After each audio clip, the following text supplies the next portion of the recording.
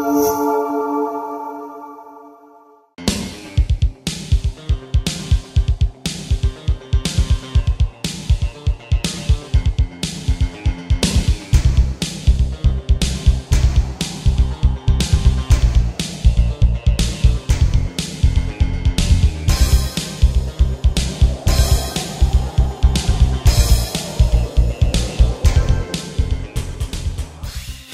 Hablar de baloncesto en Villaviciosa de Odón es hablar del Eurocolegio Casby, y hablar esta temporada de este histórico club es hablar de Alfonso Ortiz Mendieta, sobre el que Deporcrax Villa pone el foco en esta ocasión.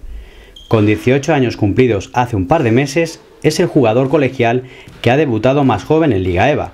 Lo hizo con solo 15 años.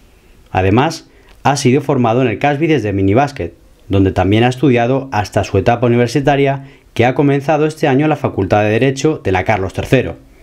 Por tanto, es un producto educativo y baloncestístico 100% Casby, tal y como cuenta su entrenador José Antonio Sánchez.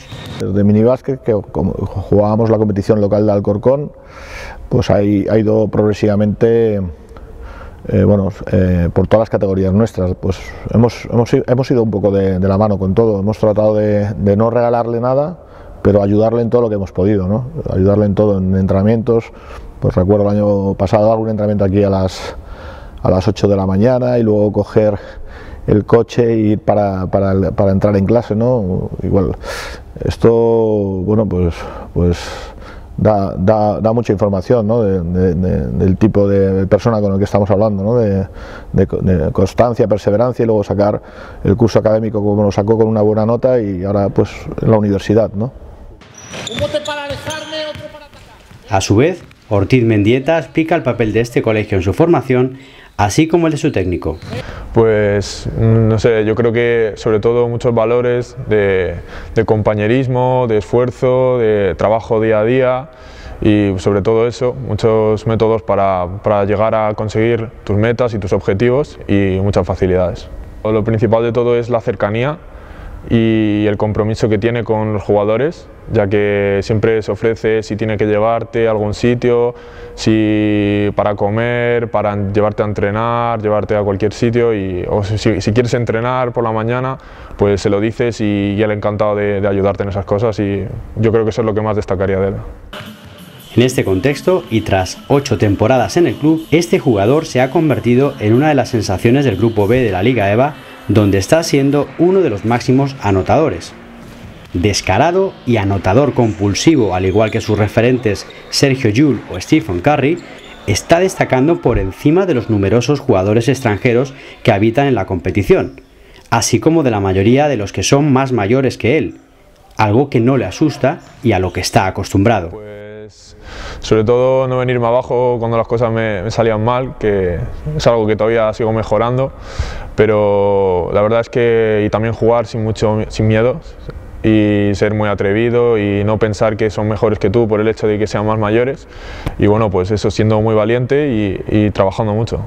Pero ¿cuáles son las cualidades que han llevado a Ortiz Mendieta a destacar en el básquet y a apuntar a ser un jugador potencialmente ACB? Yo destacaría su, su, pasión, yo creo que él, vive el baloncesto y bueno, él lo demuestra también entrenando, lo demuestra pidiendo entrenamientos voluntarios, lo demuestra acudiendo a, a cualquier opción que se plantee a nivel de, de, entrenamientos extra, extraordinarios, ¿no? tanto a nivel físico como a nivel técnico.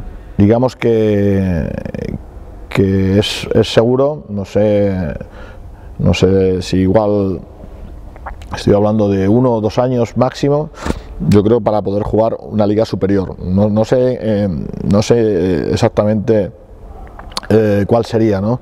pero que, que, ya sí que le veo eh, no en mucho tiempo jugando, jugando una liga superior, eso eh, yo creo que es evidente. ¿no? Con esas virtudes las siguientes preguntas son lógicas. ¿Dónde se ve este base escolta en un futuro? Y si llega a la CB, ¿en qué equipo le gustaría jugar? Pues, si soy sincero, no, no, tengo ni idea. Yo espero que lo más arriba posible y ya se verá con el tiempo. Si, si se hacen las cosas bien, con trabajo diario y trabajo duro, Eh, yo creo que pues, se puede llegar a donde uno quiera, sin límites y, como ya te digo, no, no, se sabe lo que el futuro te depara, pero lo que sí se sabe es que es trabajando día a día y con constancia pues llegarás más lejos que sin hacer nada. Me gustaría jugar en cualquier equipo ya que son todos eh, de un gran nivel y, bueno, pues el, club que, que más confía en mí. De momento, lo que es seguro es que es el mejor jugador de Villaviciosa de Odón y uno de los mejores de la Comunidad de Madrid. Algo de lo que habla su padre, que también reconoce que han recibido la llamada de algún club importante, aunque de momento decidieron quedarse en el Casby. Tiene que suceder de una forma natural, no puedes tener expectativa de pensar que vaya a ser una, una gran promesa o sino que con el, lo principal es que él aprenda un, deporte, que le da muchos valores en cuanto al compañerismo y que esa actividad pues bueno sea un refuerzo que luego va progresando, va aprendiendo y se le va dando bien, pues oye, bienvenido sea, pero no era un objetivo así eh, de inicio. Bueno, tratamos de, lógicamente, lo primero, escucharle a él, convencer y, tratar de, orientarle para que él pueda tomar la mejor decisión. La decisión siempre es suya. Eh, también en este caso su entrenador José Antonio pues es una voz importante para nosotros. Sin embargo, y pese a los méritos que está haciendo en su corta edad, llama la atención que el jugador del Casby no haya recibido la llamada de la selección española para jugar con los mejores de su generación, la del año 99. La española sí que es verdad que, sobre todo el año pasado, eh, yo creo que tendría, mm, o sea, me sentí como con la espinilla de, de, saber que podría haber estado allí, por lo menos en la preselección o que me hubiesen dado una oportunidad. Pero bueno, eso es algo que yo no puedo controlar, así que yo me tengo que centrar en trabajar duro y ya eso ya no es problema mío. Que a veces se, se tiende a desprestigiar un poco a, los jugadores nacionales, pero bueno, como ya te digo, eso es algo que no se puede controlar y, cada jugador se tiene que centrar en trabajar duro y ya hablar jugando y, las cosas se verán. Pues nunca se sabe, no, la verdad es que no sé, no suelo pensar en esas cosas porque podría haber pasado cualquier cosa desde eh, una lesión o de que no hubiese tenido a lo mejor tanto protagonismo, pero bueno, yo creo que el nivel lo habría dado.